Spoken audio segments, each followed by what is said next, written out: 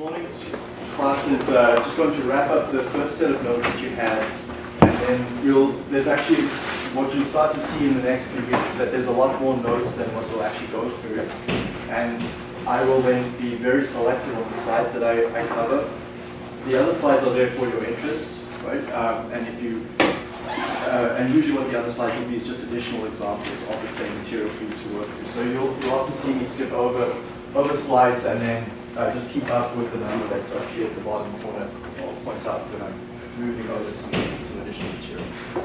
So last class we ended up talking about this heat exchanger and and, and the, the context of last class was to look at the operating unit for a process. And it's implicit that we want this operating unit to be as large as we can make it. Right? So back to that example where we were looking yesterday at the human body, it's no good if we were only able to operate within very narrow temperature ranges and with very little food intake. So same idea with our processes, we want them to be capable of operating over as wide a range as possible. And then when we were looking at some of these examples yesterday, particularly this one with the heat exchanger, we said we want to be able to operate this heat exchanger when the cooling water coming in is really hot on a summer day at a low flow rate. Our fouling is really high on the heat exchanger, so this is after about two, three years of operation on this heat exchanger. This, this fouling, fouling, fouling. We still want to be able to achieve the heat transfer so that we can obtain this lowest temperature. And despite the fact that this inlet uh, flow coming in is really high flow rate and high temperature. So what you see there is every time you add one of these additional requirements, this heat exchange is getting larger and larger and larger, and, and the dollar figures are going up. So you may, might be concerned here that you're, you're thinking, well, all that we're doing is we're designing and essentially just over-designing. So let's just step back for a minute and, and recognize that absolutely we are over-designing, but what we're trying to do is design so that it's, it's as right as we can possibly get it for the conditions it's operating in. So when we look at equipment, uh, I've left this table filled in, so we won't go and fill it in interactively. Um, just, it's, it's all very obvious stuff. It's small equipment, obviously has the advantage of costing little money. Um, and we can usually operate that small equipment to get it very precise, so you can control it very, very carefully to get it to where you want. But of course, a small piece of equipment doesn't have high capacity by its very nature. Um, it cannot compensate for large changes and disturbances coming in. So there's some disadvantages. So larger equipment then pretty much it's the mirror reflect uh, the opposite of that. So higher capacities, we can compensate easily for large disturbances. We can usually achieve good transitions from one operating point to the other, but it costs us money, and at a cost of usually lower efficiency on, on larger equipment. So what you what we're aiming here for is just a, a balance, right? So you want we don't go say why not design and construct equipment with very large capacities. So if you go look at um, at Petro Canada or a petroleum company, they don't go buy the largest distillation column possible, right? And just put five of them up and say, well, we need this extra capacity, we're just going to buy it. Some groups were talking with me in the meeting and they said, well, I'm going to buy a niche and I'm just going to get the largest one I can possibly can, buy and put it in there, right? So we don't do that because it's going to cost us capital, obviously, and operating costs for that. Our aim is to get this balance between what we need from getting our operating window to be what we want it to be so we can compensate for the disturbances that come through. So for example, cooling water, we want to be able to handle high and low cooling water temperature. We want to be able to handle high and low flows. And very often when we do this design, there's an element of probability in it. So if you know that you want this equipment to operate, but there's only a day or two of the year where you get these excessive conditions, or combination of events occurring. So for example, if we go back to the heat exchanger, the combination of all these events, sorry, combination of all these events occurring simultaneously might be fairly low, right? So you may just simply accept the fact that you won't be able to get exactly this lowest temperature possible. However, if this temperature was a critical variable on your flow sheet, in other words, it's not just nice to have it low, you really do need it that low. Then you likely will go spend that extra money. Despite the very low probability of all these events occurring simultaneously. But very often, we as engineers have intuitive concept of certain variables on our flow sheet that are sort of, we like them low, but if they deviate, we can handle it. Or it's, we maybe produce off-spec quality product at a secondary grade and not our primary grade. So you sell it for a little bit less money. Yeah. Uh, would that 20% in the bare modules cost take into account that or got rely on that? No, we're, what we're talking about is you calculate the area first, then you go calculate the bare module cost, and the 40% error gets thrown on afterwards. But your problem, what this problem is, is like, what area do we just even need as our as our design for the heat exchanger? Okay? So the area we need needs to be an area that compensates for all these events occurring. So you wouldn't go buy this heat exchanger if all these events don't ever occur.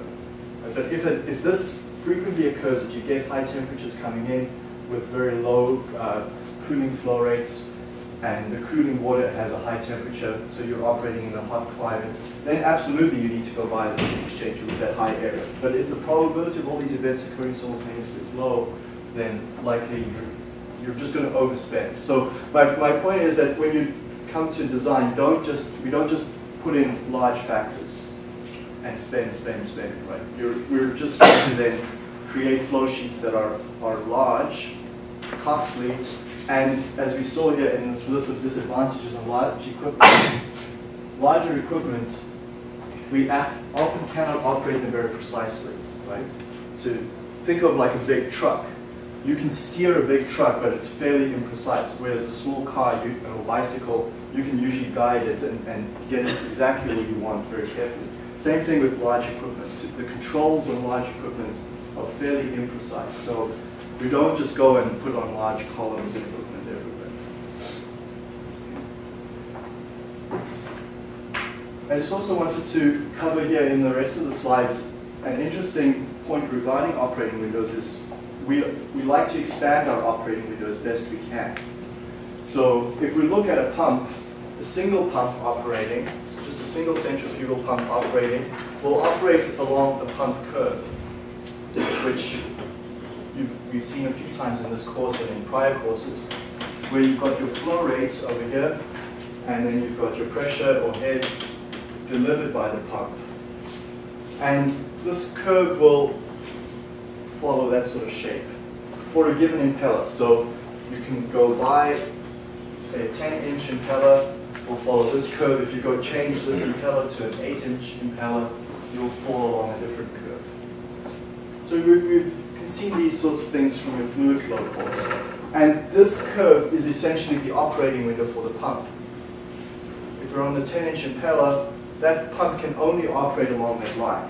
It's a single line. It's not actually a two-dimensional space. You can only operate along that line. So if I, by that I mean is if I go put a valve over here and I throttle that flow down to some lower flow rate, my pressure delivered by the pump gets higher. If I choose to operate at a higher flow rate, the delivery pressure on the pump is lower. So I, can, I have to move along that curve. Now, if we want a bit of, to expand that operating window, what we'll sometimes see on flow sheets, and this also ties into the next topic that we're going to look at, is to give us a little bit more flexibility in our process, we'll often tie in pumps in series. Okay, and what that does is it delivers the same flow through the pump, but now the pressure leaving there is, is a higher pressure coming in. Then we put that same flow into the next pump, and we get an even higher pressure still. So two pumps in series allows you to expand your operating window to get the same flow, but at higher pressure. Okay? And if you don't need that higher pressure, and you need just back to a single pump, you can always go back and operate just the single pump by putting a bypass around the second one. So you can get low, low, low pressure just by using one of the two, or you can get the higher pressure by operating both at the same time. So we'll, you'll often see this on certain flow sheets where you need to deliver a certain pressure um, at, a, at the same flow. Now if we go put two pumps in parallel, here what, what's going to happen this time?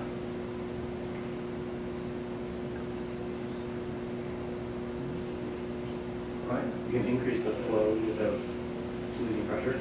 Increase the flow without losing pressure. So each pump is going to deliver a certain pressure. That pressure gets combined over here and it's the same value. But you can now pump twice the amount of material through that circuit. So parallel pumps, two or three or more, more pumps in parallel will increase your flow rate capacity in your operating window at the same delivery pressure. So that's, um, the, that's, that's something you'll, you'll commonly see. Final point that I just wanted to mention, and this came up in a prior class when we were looking at P&IDs and the hazard and operability study, is where do you place your flow meters?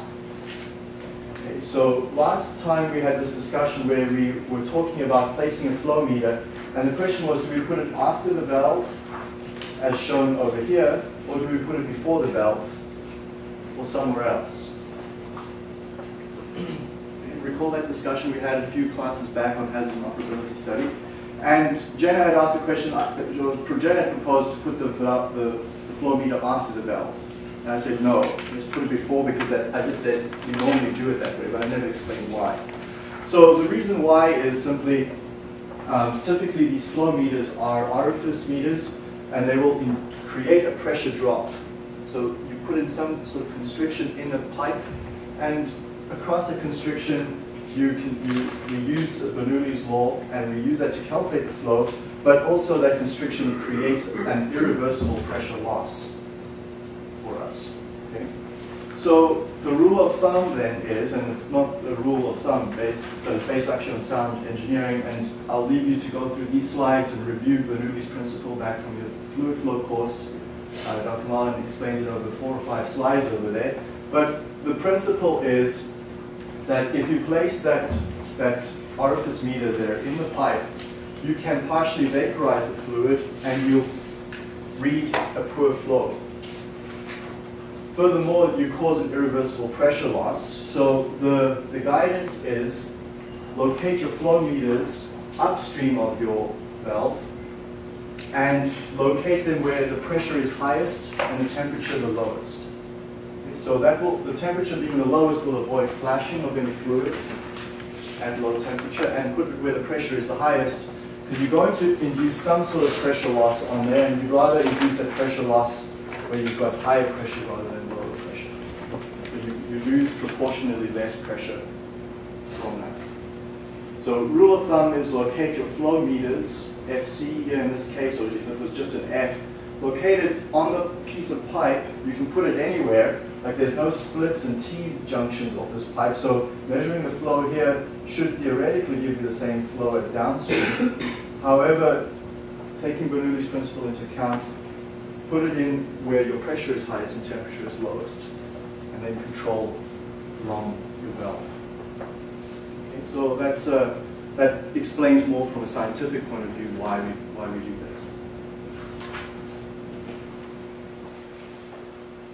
Okay, so I'll leave the rest of the slides over there for you to look at in your own time. And I'll move on to the new set of slides that I posted on the website yesterday, topic called flexibility.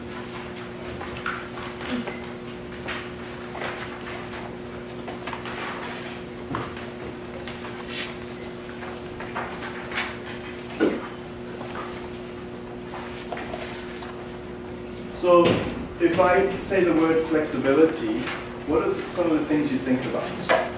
What do you consider something that's flexible?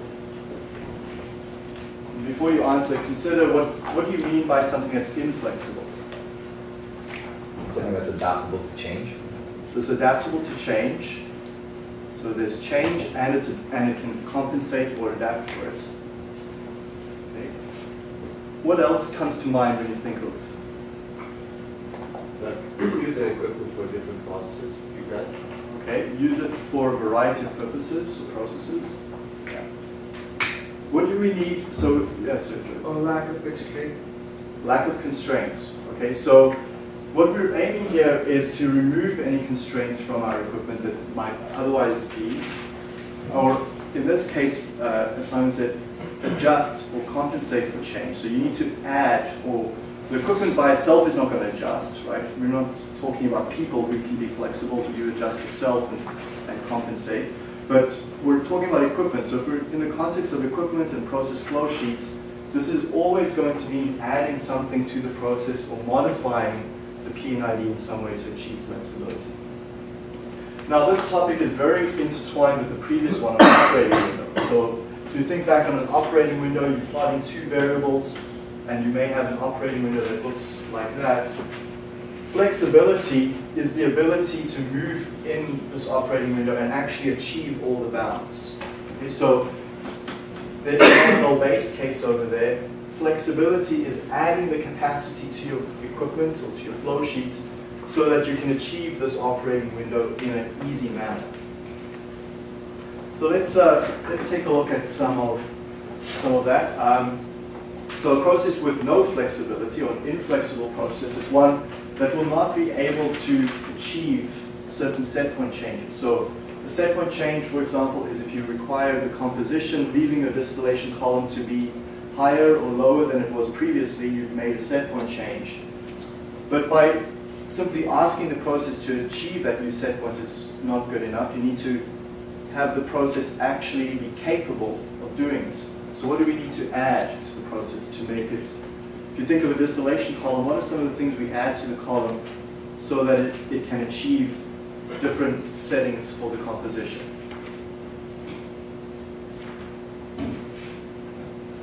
The refluxation or revolution. Okay, so you how do you so you change your reflux ratio, but or if you increase your reflux ratio, then it's going to recycle and get pure. Okay, so change your reflux ratio. Can you be a little bit more specific on how you actually implement that? So we're thinking of our flow sheets and our P&ID diagrams. What do you change in your diagram to alter the reflux ratio? So you'd increase your pump flow or splitter ratio? Change the ratios? What? Yeah. So you need to add like control elements and sensors. Control elements, sensors, valves, so that you can alter the flows. Okay, so we need to, to add those things to our process to, to be able to respond to disturbances. We, we've considered disturbances in the previous class. We said these are things such as changes in the ambient temperature um, will be a disturbance. So our process needs to be adjustable or flexible to compensate for these changes around us. Another way of looking at it is we need to be able to steer the process. So we're adding the tools to our flow sheets so that we can manipulate and move our equipment to achieve different set points and to compensate for these disturbances. So what this comes down to, I'll, we can revisit the slide later on, but essentially the, the, key, the key way we achieve that is we always will add spare capacity with valves, heat exchangers, additional motors, and so forth. We'll add additional equipment. We'll be able, we will add additional piping and, and valves. And we'll often see we'll add bypasses as a way to achieve this flexibility. So that's going to be a new topic that you may have not seen before, is adding a bypass around heat exchangers or around reactors is one of the key ways we achieve, achieve that. So let's take a look at this example here. Um, again, in your project, many groups have a distillation column of some sort. And if we look at the column, we can define an operating point. An operating point is a given value for feed flow rates. So we know we're feeding a certain flow, we're, we're achieving a certain pressure at the top of the column, we're achieving a certain level, a certain distillate and bottoms composition. So that's my operating point where you'd like the process to be. And we've got these disturbances coming in and changes and uncertainty in heat transfer, efficiencies on the trays, and so forth. Now, what happens if the cooling water temperature changes from 25 degrees in the summer to 10, 15 degrees in the wintertime. So you're using cooling water up here in your condenser. Now instead of sending 25 degrees water, as the seasons change, fall, winter, this temperature starts to change to 10 degrees. Okay, is that a problem in the condenser? Oh, you're looking at your reflux drum, you have to increase that faster so you have to discharge more out through that outlet stream. Okay, so to avoid level overflow in here, you need to, to discharge more. Is there anything we can change on that cooling water to go around over there to compensate for that change in the inlet temperature. Look at your flow rate or your residence time in the cooling tower. Okay, so, well, in, in the winter time, we'll just, the cooling tower will just deliver lower temperature to us. So we, we cannot alter that inlet temperature. Yeah. Is there something we can change? also? You can change the flow rate of cooling water so your duty is less. Okay. Yeah, same thing. Okay, so we can alter the flow up here of our inlets to that condenser. So if you go through any one of these, these five entities that define the operating point for a flow, for a, for distillation column, every one of them needs to be controlled in some way. So if we're trying to control it in some way, we need to add on the equipment to do that and implement that control. So for example, for that cooling water, we need a valve up there to manipulate that cooling water flow. If we're trying to control the purity from the, from the vapor stream, we need to be able to control the reflux ratio. So we need to have a valve entering back into the column and the valve splitting off. Most people often think I just need a valve over here, either before or after the pump. Right? A single valve over there is not going to achieve purity control for you. You do need to control the ratio, which means you need two valves. So that flexibility comes through over there. Um, same thing here for the heat duty at the bottom, control that to control the bottom purity, the flow over there. And then here's an interesting one we'll you sometimes see on certain columns is that you have splitters so that you can choose where you feed, which tray you, you feed the, the column. Okay, So that's, um, that adds some additional flexibility to the process. If you decided after you've built the column that you need to feed at a lower tray, it's very costly to retrofit this. So prior to building the column, if you can specify it to the supplier that you need three or four entry points at different trays, that's a whole lot easier to do before the column is built and delivered um, than to do it after the fact. And so you would determine the need for this based on your Aspen simulations. Right? So you can use simulations to see what advantages and disadvantages you have from using different feed entry trays. And you'll do that most commonly when this feed composition coming in is different. So your upstream feed is going to vary in composition. That's a disturbance, the composition entry over here. So if that's changing on you, you need to you pick a different tray to feed on so that you can still maintain top and bottom purity levels. Now, many people kind of get frustrated with this course because there's just so many petroleum and, and petrochem type examples. Well, here's one from the bio, bio world to um, balance it a little bit. So take a look at this process. You've got a bioreactor, and bioreactors almost always operate in batch mode. There's a few continuous types, but this one is a batch type reactor. And on these bioreactors, the way they're operated is that you'll require to use or follow a certain trajectory. So the trajectory has been determined over here. For example, temperature. We'll start at some inlet temperature, ramp up for a period of time, and then ramp that temperature down after for a certain period. So it usually follows a recipe, and in this recipe there's two stages. The first stage is the ramp up in temperature, the second stage is the ramp down. Now during that change, that's temperature, but you'll also have similar trajectories for dissolved oxygen, another trajectory for pH that needs to be obeyed, uh, the trajectory for substrate concentration and substrate feed flow rate is another one that could be on here if it's semi-batch reactor. So all of those need to be followed. So that's my requirement to achieve the, the process that I'd like. Not everyone's in the bio area, so you won't always all understand some of those terminology, but those of you that are, you can list and add to that diagram the sorts of additional equipment you need to achieve that objective. Okay, so the solution of that is in the last slide of this note, so we won't go through it just yet, but think about that. We won't get through, through to it today, but you'll add, add to that flow sheet the necessary equipment you need to achieve that trajectory control. What sort of things should be added to that process? Okay. So, and then the final point before we get to some examples on, on flexibility are, this is probably something that's intuitive for you, but if you look at this flow sheet over here, uh, there's a number of sensors and a number of valves. The key point from this slide and the one after it is that for every control objective that you have in mind, so for example, I would like to control the level, that's one control objective. I would like to control this temperature coming into my flash drum, that's another control objective. The pressure over there is a third one. The level in the flash drum is the fourth variable I'd like to control. There may be several others that I can, look at this flow sheet and, and think of. For every control objective that you have, you do need a degree of freedom to adjust for it.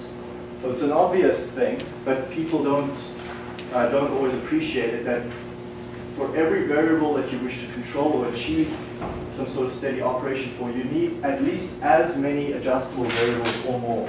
So your number of valves typically is your adjustable variable. You need as more valves or as many valves as you have control objectives. And that just makes sense from how you, you pair them up. Okay, typically we'll have far more valves than we'll have control objectives. So let's take a look at, at a few examples then in this section. I'd like you to think back to your process control course, um, particularly at the end of 3P where you were considering multi-input, multi-output systems. Okay, so you remember those fairly complex diagrams, you've got two by two blocks and a lot of cross-linking between them and interaction between the blocks. One way you can intuitively understand that section of the course is consider two variables that you're trying to control. So you can, the analogy might be the position of two cars traveling along, along the road, side by side. And if those two variables are considered independent of each other, it means that there's no interaction between them. You can move each one and there's no effect on the other. So the position of those variables can be independently achieved. We'll say that variables, two variables have interaction if you can move them, but by moving one, you will affect the other one in some way. So the degree by which you affect the other one is a function of this interaction between them.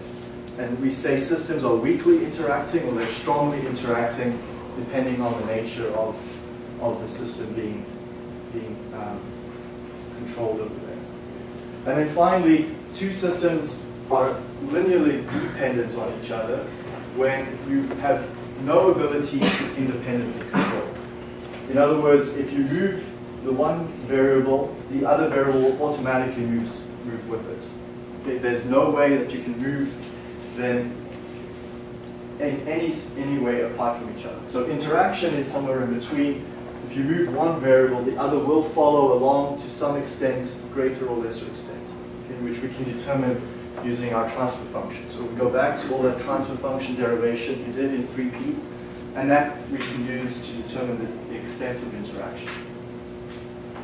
So we won't consider independent variables because that would be the equivalent of just having one PID loop for this variable and another PID loop for this variable, and there's no interaction between them. Okay, so that's that's an easy case. In fact, that's what most control loop design is that you've done so far. Is when you looked at your flow sheet for your course project, you you design the, the loop pairing for one variable, design the loop pairing for the other, and there's no interaction.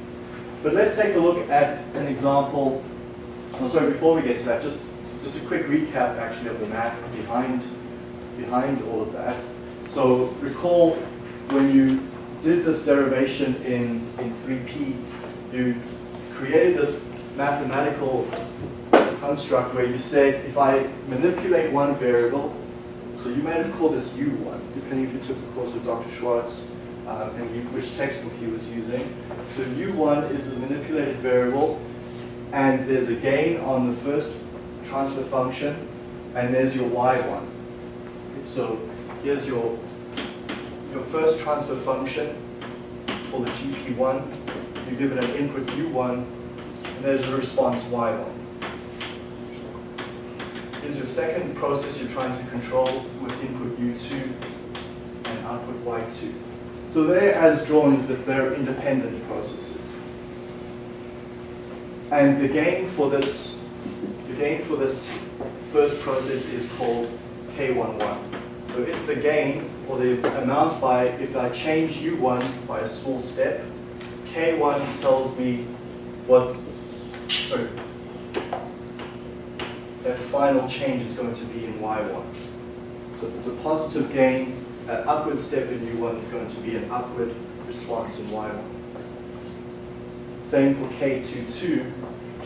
K22 tells me what that changes in U1, U2 for, and then the response in Y2 might be a negative gain. So, so that response is going to be K22 times U2. So that change. So that's independent processes. Now, when you make this change in U1, it may have some effect actually on Y2 over here. So we don't, for a process where there's interaction, a change here in one of your variables, this might be a flow rate that you're using to control the temperature, this flow rate change might also change composition for you. Okay? It might weakly change it, but it does change it, and the amount by which it changes it is called K12. Sorry, K21. K21 is if you multiply your change in U1, manipulated variable 1, what is the effect on your second Y variable? So what we hope for is our off-diagonal elements are zero.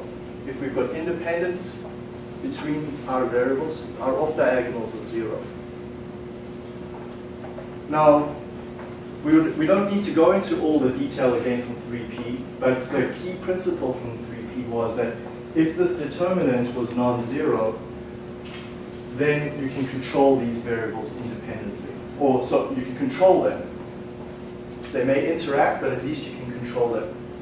Okay, whereas if that determinant is zero in that matrix, it's this situation. Where if you shift one variable, the other variable automatically. So that's just a bit of a recap. Now let's take a look at this example and think about it for a minute.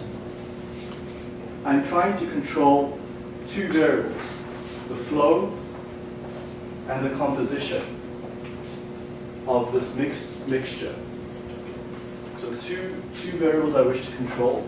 And I've got two manipulated variables. The flow rate of this first stream, which contains A, the flow rate of A, and there's a certain composition here of XA. The second stream that I'm blending it with is my solvent, for example. Fs is the flow rate of that solvent stream, and the solvent stream happens to contain no species A.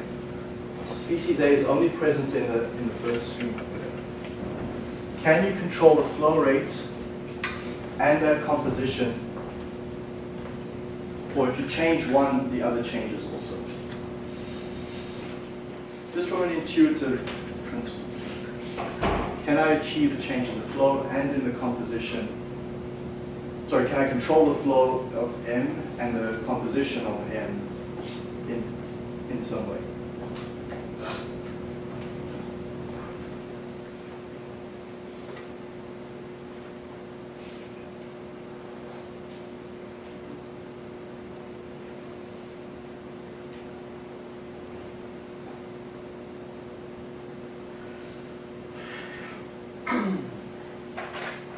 So if you wanted to increase the flow rate of M, what would you do? Increase FM. Not open either valve. You can open either valve. What will happen to XAF? Depends which valve you open. Okay. So in that case, there will be some interaction. But can you find a valve combination that will only change FM and not change XAM? Just open the first valve. Open both with the same ratio to maintain that. Open and go with the same ratio to maintain the same composition? Right? Or,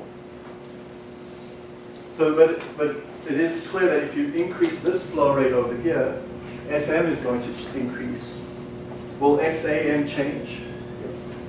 Yeah, it will go up. If I open, if I leave this valve constant and I open this valve more, FM is going to go up, but what's going to happen to XAM? Go down. Okay, so because you now blend, uh, reduce or diluting that flow. So there is an interaction between those two variables.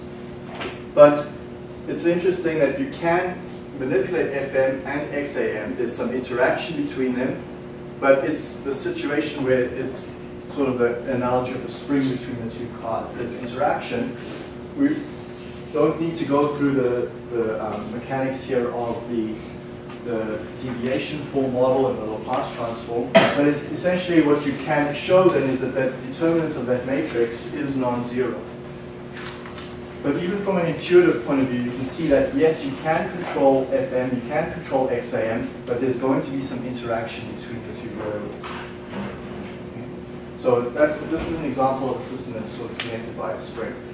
Very simple system, but show, uh, shows that principle quite nicely. Let's take a look at another, another situation. Um, here's, here's an example where you, you want to add flexibility to a process. So recall we said at the start of the class, flexibility is about being able to operate away from our base case and move around our operating window. So here's an example where our goal is to control, control this temperature leaving the heat exchanger. So I've got a cold stream A uh, heating up some higher value, and I want to maintain that at, at a certain point. So maintain that at, at a new value, or at a given value. And I'm using another stream B to do that. Now, on the next slide, you're going to go ahead and I'll give you about three, four minutes to do this because you'll need a little bit more time, especially for option three. This one is a really important one to understand. Take a look at these three cases and say, what, what do I add to the system here in, in step one if I want to control that temperature, but I have to keep the flow rate of stream A constant. I can vary B's flow rate, however. Then look at this situation where you have to keep the flow of A constant, however you can vary B's flow rate add on the control loops for that. And then the final one is, what are you going to do if you need to keep the flow rate of A and B constant? So A's flow rate cannot be changed. It's being expected downstream at a given flow rate, and B is coming from another part of your process. This isn't like steam or some other hot, hot fluid. This is a given flow that cannot be altered. So how can you get this heat integration, get this, we like to do heat integration where we can to save money, but we've got this constraint that those flows are constant on stream A and B. So I'll give you a few minutes to work through that and try to figure out the controls or flexibility you're going to add to the flow sheet.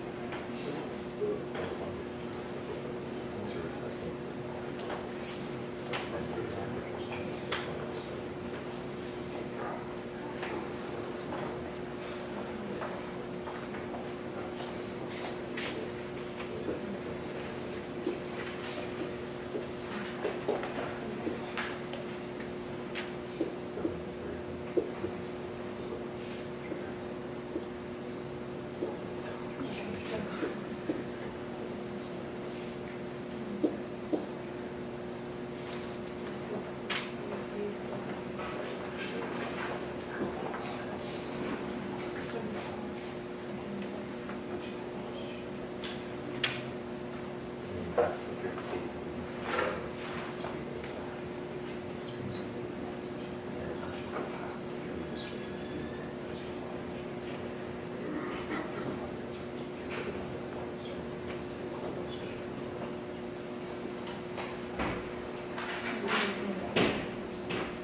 Sorry.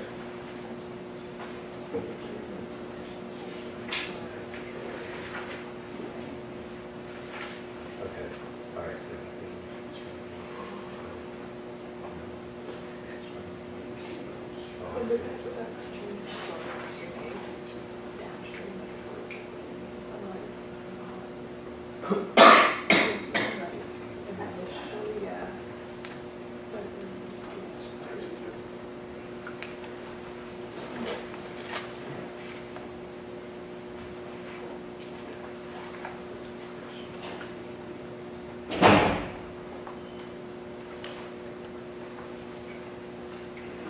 On number three? I Figured out a way to do it.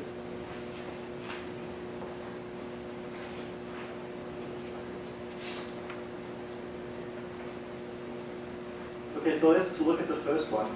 Any suggestions on how to control that by keeping stream A's flow rate constant?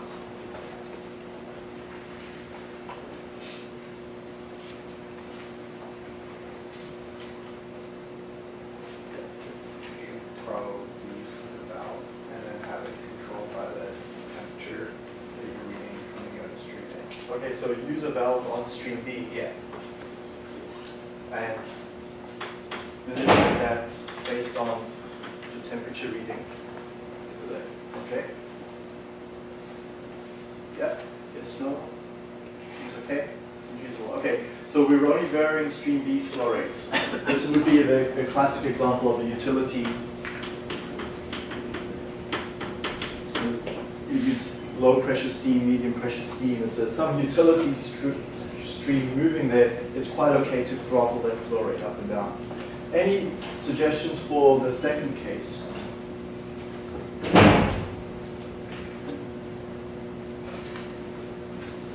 Where it's quite okay to vary flow in stream A, but not in, in B. And you do the same thing with the valve. Same thing with the valve. Over here. Uh, either way. Okay. Controls of the temperature controller again, so like, so if you want it to be warmer, you open or close the valve. Okay. Should we locate the valve? Um, yeah, so we locate the valve here and measure the temperature there. So this is achieving that, that, that control of the temperature. Now, is this something that's normally done? We see? Would it work?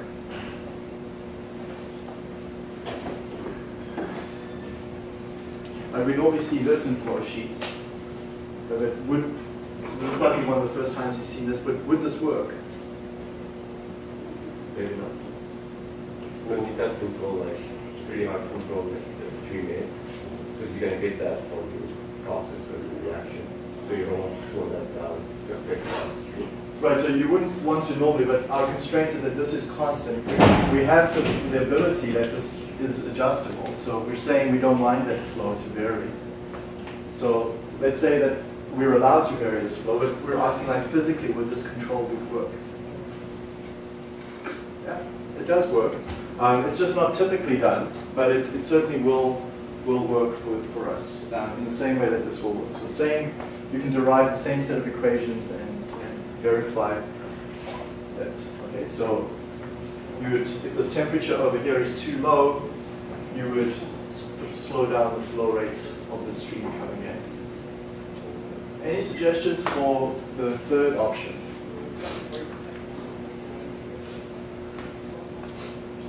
We prefer a cycle stream on one of them. The recycle stream, so you're taking from where? The, let's say the top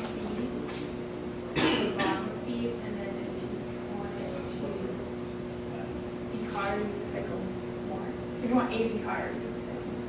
Okay, so the suggestion is to take flow out of here, split it, and bring it back in to B.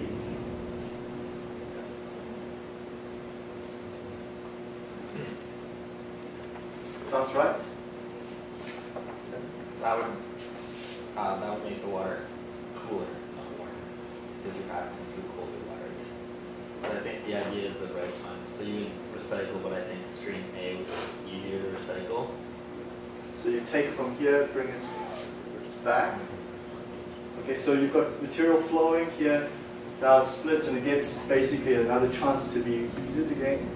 If it's not hot enough, you would increase the recycle ratio, and it's too hot.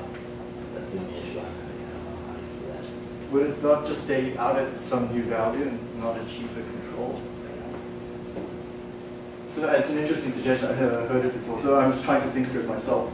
I, I, would- I would suspect that eventually, uh, if you recycle, it will, it will just stay out at some new value, but not necessarily control the temperature. Well, wouldn't that be like you control the uh, recycle ratio? Control the recycle Like ratio. the valve? Yeah, it's an interesting one. I, I don't know. I think, I, I suspect that it may not actually achieve, but I'm probably gonna have to simulate that to see. Yeah, yeah, it's an interesting one. Didn't think of it. Um, any other suggestions? Yeah, Kevin. Uh, bypass? The bypass, Alex? You say buy another heat exchanger that you can't control?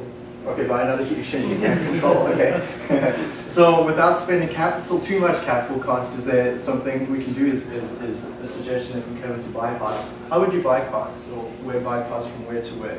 Uh, just like from both sides, like the hot stream go around the heat exchanger and the cold stream go around the heat exchanger, yeah. Okay, so either take the cold stream and send it bypass the heat exchanger or the hot stream around the heat exchanger. So either one works. Um, so you can add to your drawing a little bit more clearly drawn over here that if this temperature is too low over here, so we, in other words, we're not heating enough, do I open this valve or do I close this valve?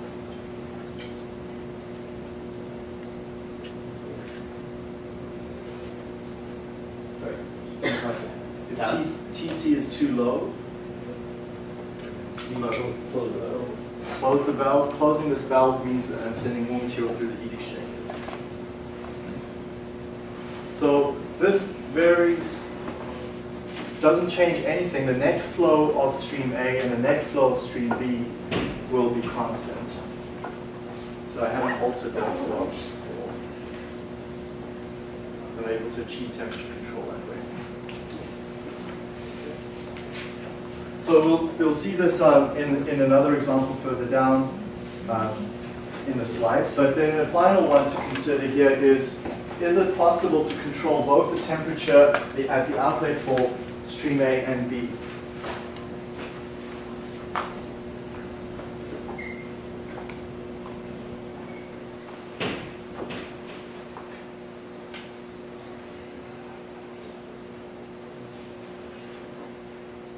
Just from an intuitive gut feel perspective, can you manipulate and control both those temperatures? So if you look at the, the derivation for that and, and do the, deviation form variables, uh, you can show the heat transfer requirements from the hot stream is Q hot, the heat transfer to the cold stream is Q cold, they need to be equal to each other. And if you go and do work through the calculations on that, uh, essentially you get one of these systems. The determinant for that system will be zero, indicating that you cannot control those two temperatures independently. So we can control one of them or the other, but we cannot achieve uh, independence or close to independent control of those two temperatures. So I'd like you to, uh, to go through some of the rest of the slides. There's just a few more examples in there on your own time. Um, but this kind of gives you an idea for what we add to a process to achieve flexibility. In the next class, we'll look at reliability. Uh, there was one question just quickly on the deliverables for Friday, uh, posted on the website, is, is the, the spreadsheet filled in? Okay, so I don't need documents and so forth, I just need the spreadsheet with the numbers. The documents documentation will go in your final report.